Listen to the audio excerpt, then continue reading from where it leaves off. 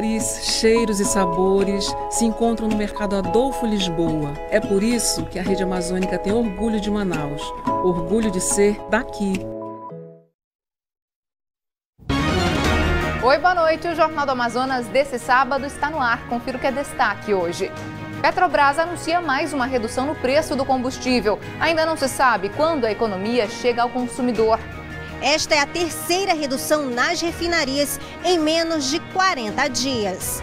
Vídeo de detentas usando drogas dentro de cadeia de Manaus viraliza na internet. SEAP diz que vai investigar. Secretaria de Estado de Cultura volta atrás e diz que já foi notificada sobre reforma na Santa Casa da capital. Prazo para começar a obra termina na segunda-feira.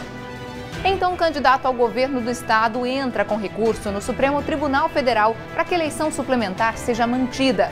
Tem ainda a primeira noite do Festival Folclórico de Parintins.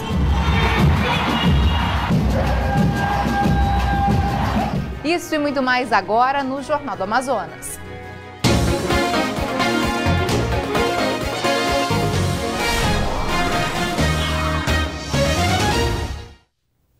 Mais de 300 quilos de drogas foram apreendidos ontem aqui em Manaus. O entorpecente estava escondido em uma casa no Nova Cidade, na Zona Norte, e um homem foi preso.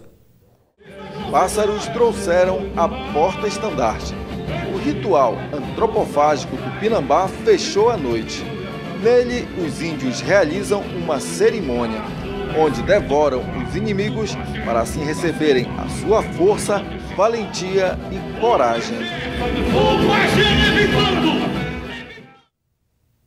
O Jornal do Amazonas termina por aqui. Para você, um ótimo fim de semana e até segunda-feira. Tchau, tchau.